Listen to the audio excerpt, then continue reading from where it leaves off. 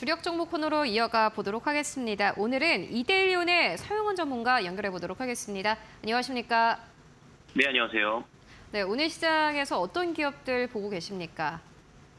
네, 오늘 제가 주력으로 보고 있는 종목은요. 첫 번째로는 히림이라는 종목을 좀 보고 있고요. 두 번째로는 현대글로비스, 그리고 세 번째는 현대공업, 또 마지막 현대로템 보고 있습니다. 음, 건설 쪽, 인프라 쪽 보고 계신 것 같은데 그렇다면 그 안에서 어떤 기업들 조금 더 중점적으로 보고 계십니까?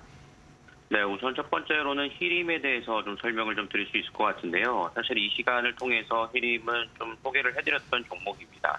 아직까지 좀 시세가 강하게 나오지 않은 상태인데 어저께 좀 거래량이 좀 붙으면서 좀 매수세가 좀 들어오는 모습이었고요. 어, 히림 같은 경우에는 우리가 잘 알려진 건축 설계 사무소라고 좀 보시면 되겠습니다. 그렇기 때문에 허가나 준공 쪽을 사업을 담당하고 있는 상황인데 어, 최근 뭐 방미도 함께 진행하면서 사실 소규모 차원에서는 어, 한미 이 회담에 대한 방문이 이루어졌다는 점들도 상당히 좀 호재성으로 좀 반영이 되는 모습들도 있었습니다.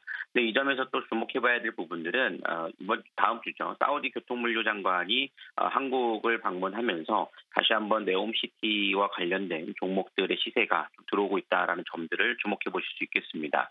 그래서 전일 히림 같은 경우에는 3% 넘는 상승세가 좀 이어진 상황이고요. 아직까지는 좀 역배열이 되어 있는 상황이기 때문에 좀 시세가 좀 제한적인 모습들은 있습니다만 최근 외국인들의 수급들이 좀 유입되는 점을 감안해 본다라면 어, 좀 정배열로 전환되면서 상승 전환이 이루어질 가능성이 높다라는 점을 참고해 보시고 어, 지금 접근 가능성이 충분히 있다라고 말씀을 드릴 수가 있겠습니다. 어, 그리고 두 번째로는 현대글로비스에 대해서 좀 살펴드릴 수 있을 것 같은데요.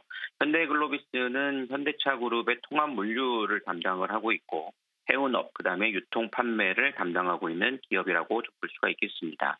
사실 이 물류 쪽이나 해운 쪽에 있어서 어 1분기가 좀 상당히 좀 경기 침체가 있었습니다만 현대글로비스가 유통 사업 쪽의 매출을 좀 선방을 해주면서 1분기 실적이 좀 무난하게 좀 나와주는 모습이 이어졌습니다.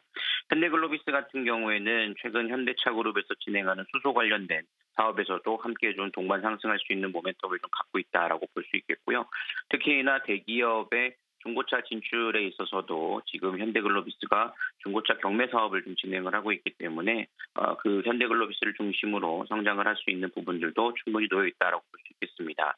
현재 가격은 16만 원대 형성이 되어 있기 때문에 외국인과 기관 수급과 동반해서 좀 공략을 해보신다라면 뭐 18만 원대까지도 좀 기대해 볼 수 있을 것으로 예상이 되니까요. 이 점 참고하셔서 좀 대응을 해나가 보시면 좋겠다라고 정리를 해드리도록 하겠습니다.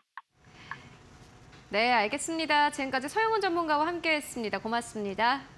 네, 감사합니다.